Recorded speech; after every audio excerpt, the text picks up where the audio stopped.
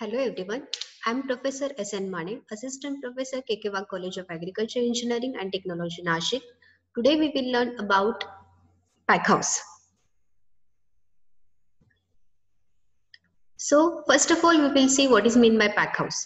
Packhouse is nothing but a- it is a place where perishable agriculture commodities like uh, fruit and vegetables, it is collected and it is uh, goes through the number of unit operations and it can be stored up to the distribution or the up to the marketing.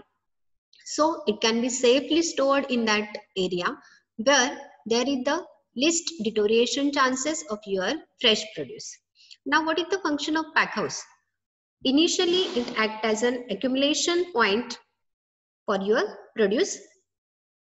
Then here you can hold your commodity for the temporary purpose means you can say temporary holding area and it is prior to the distribution.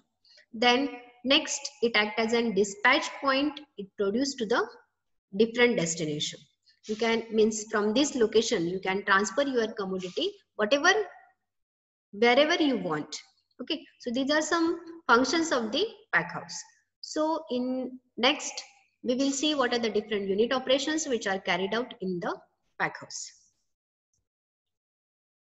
so these are flowchart of the pack house operations. See start from the receiving up to the dispatch. First of all receiving of your commodity it is takes place then maturity checking. After that de-steaming or trimming you can say that then grading or the sizing.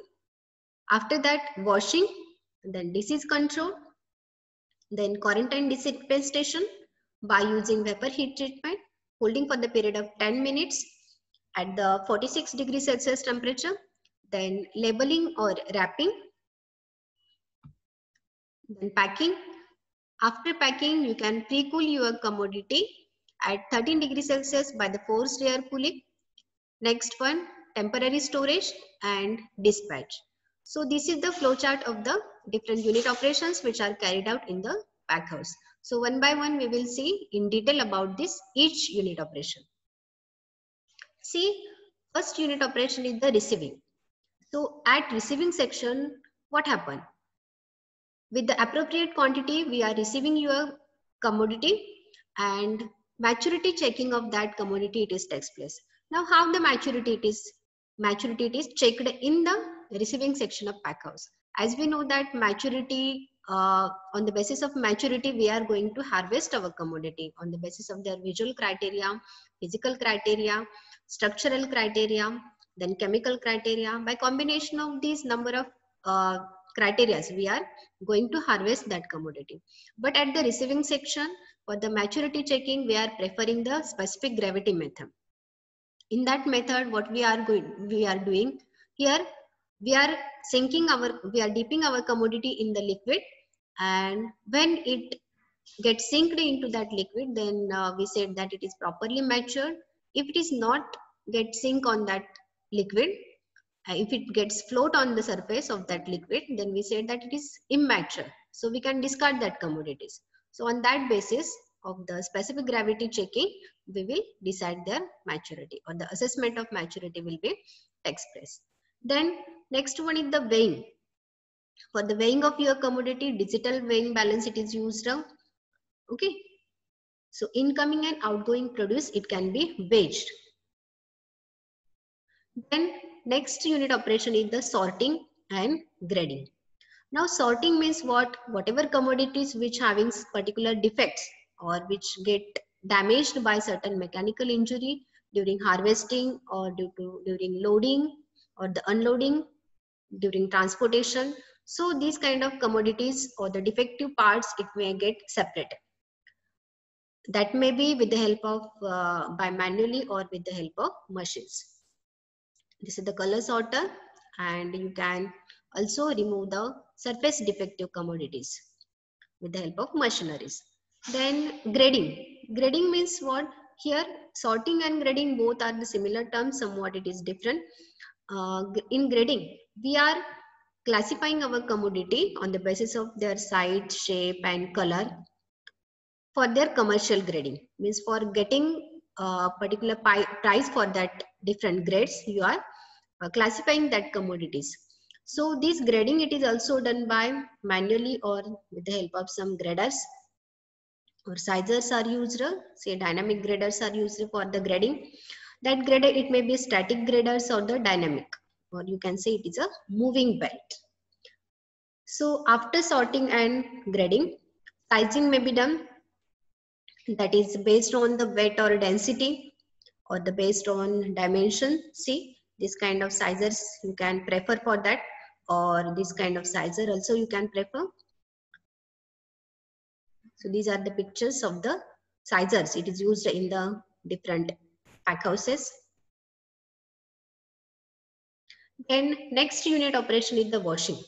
Now washing it is very important thing because your commodity after harvesting, uh, there may be the chances to stick different impurities to your commodity surface or due to the their growing period, there may be the chances of uh, sticking of some chemical residues. So that kind of things, it may get vanished or cleared with the help of washing. At that time, you can use different chemicals for the washing of that commodity so that the spreading of diseases may be get avoided. So chlorination treatment may be most of the most of the times that can be followed for the washing purpose. Also, sometimes hot water treatment or the steaming can be given to that commodities. See here in the bottom side, uh, hot water treatment or the steam treatment at the 55 to 65 degrees Celsius for the 10 to 25 seconds.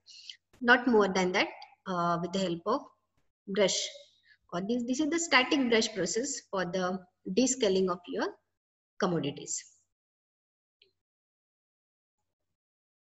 Then next is the pre-cooling.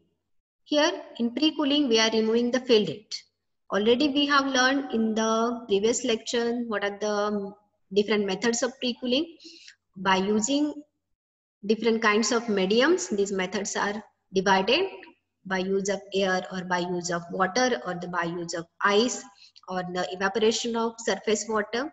On that basis, we are dividing different methods. So any kind of method you can prefer, either contact icing method, hydro cooling method, then forced air cooling, vacuum cooler or the evaporative cooling.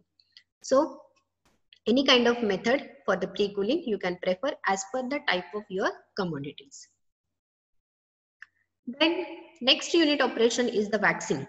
Now, what is mean by waxing? Waxing is nothing but a thin layer of application of vegetable oil or the animal oil on the surface of your commodity in order to avoid the moisture loss from the surface of commodity. So this waxing, most of the time Waxol type of uh, chemical it is used for the waxing of different commodities like citrus, apple, or the those commodities which having plain surface most of the times it is waxed. And this waxing it is applied by a number of way like foaming or the spraying or the dipping your commodities or the dripping of commodities in the wax material. Then conveying after waxing uh, sorry after waxing you have to dry your commodity properly so that uniform spray, spreading of that wax will be there and uh, there should not be any harmful effect of that wax on the commodity. Then conveying. After waxing, you can transfer your commodity with the help of belt conveyor or the gravity conveyor or you can transfer by manually. Then next unit operation is the packaging. Now here there are number of types of packaging. It may be bulk packaging or the uh, consumer packaging. Depending upon the which kind of variety or which kind of produce we are going to be packed. Okay on that basis we use the we are preparing that that kind of packaging material. So for delicate produce see here this shrink wrapping it is used or the tray or punnet type of packaging material it is preferred and for the less delicate produce either you can use boxes like wooden boxes or the cfb boxes or the also you can use the plastic crates or uh, um, you can use jute bags or plastic bags so for you can handle with the more quantity for the their avoiding their deterioration. Then this is about the palletization. How these pallets get formed. What is their dimensions? See 1200 by 1000 mm that is the dimensions of that pallets. See this is the shape of pack house. U shape of pack house has given. How the step by step different unit operations or at what place these unit operations are carried out. See most of the time this U shape it is not followed because this is suppose it is receiving section and this one is your dispatch section. So there may be the chances of contamination, cross contamination may be there. So this kind of structure for constructing pack house, it is not, usually it is not used. Most of the time your receiving section should be at one place and dispatch should be at other end. So that the cross contamination chances may be get avoided. Now we go towards the planning of pack house. So which points we have to consider while planning any pack house. So first of all, we have to take the production areas, then proposed markets and the transport facilities. This initial information, primary information we have to consider. Then labor availability is important. Then basic things, whether they are available or not, means electricity supply, water supply, or the telephone facilities. So all these things are very important while planning a pack house. Then layout of the pack house. Once your pack house it is going to be constructed, then in that condition, as per the space availability of that uh, pack house, we have to construct all the section in one unit. Means right from receiving section up to the dispatch section. So first of all, we will see what are the different sections of pack house. First is the reception section. So in this section, it controls the receiving of your commodities or the raw materials and sorting and cleaning of produce, including the washing. It is also done in the reception, reception section. Then preparation and packing.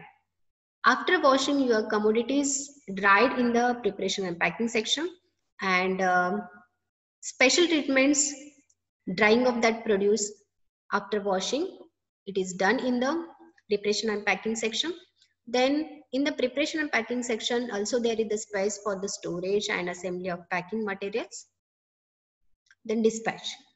This section, it is enough large to provide the temporary storage of your packed produce. In this section, there is the restricted movement of your workers and produce. It is takes place because so the uh, interference of your workers should not be there or it should be avoided so that the quality of your produce can be maintained. Then uh, area must be clean and washed regularly so that your uh, produce it will get comfort zone for their freshness and quality can be maintained up to their distribution. Now we will see about construction details of the pack house. So which kind of material it is used for the constructing pack house? See, you can use wood or bamboo, then tab, uh, sorry, wood and bamboo for preparing different tables, benches, or the crates, or the pallets. And uh, a food contact surface, it is prepared from the stainless steel material, that is stainless steel 304 or stainless steel 316. Now, uh, different welding food contact joints it is made from the tungsten material. And uh, non-food contact joints it is made from the inert gas welding. Then roof how it should be prepared. So overhanging type of roof you can prefer. It is made from canvas or the plastic. Then its height should be 3 meter above the floor. For the proper ventilation should be there then GIS pipe should be there with the insulation facility. And um, translucent and corrugated roofing panel should be there. And roof vent it should be screened so that the proper ventilation can be maintained. Then flooring. Now this flooring of pack house it should be made from the concrete and it should be smooth finished then rcc structure should be made. And uh, 2 to 4% slope can be maintained inside that pack house. Then door and door. The width of the door width, it should be 1.5 meter. Minimum, it should be 1.5 meter. And there should be the gap between doors and jambs. It is approximately uh, 3 mm. Then walls of the pack house, it should be made from the concrete and it should be smooth, non-absorbent. Then pest proof with the 45 degree slope. Then floor to wall and wall to wall radius, it should be 5 to 6 centimeter. Then ceiling should be made acoustic board. Distance between finished floor and the ceiling, it should be 2.4 meter. And uh, the painting of that ceiling or structure, whole structure, it is made from the white. So that the reflection of sunrays may be there and cold atmosphere can be maintained inside that pack house. Then windows. Windows should be screened with the 45 degree slope and the height of that window it should be 1 meter above the floor. And for the ventilation you can prefer evaporative cooling pads.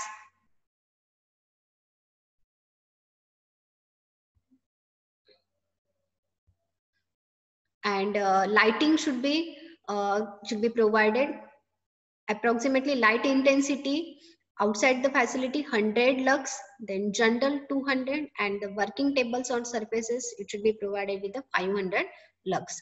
So this is all about the pack house. What is mean by pack house? We learn here uh, what are the major role performed by the pack house then the their advantages or functions to be performed by that pack house in which kind of unit operations may be done in the pack house right from receiving, sorting, grading, washing, waxing up to the dispatch. Then also we learn here what is the uh, what should be the precaution we have to take before planning any pack house. Then which section has performing which kind of operation in the pack house. Then construction details about pack house also we learn which kind of construction material it is to be preferred then how it should be constructed. So, thank you.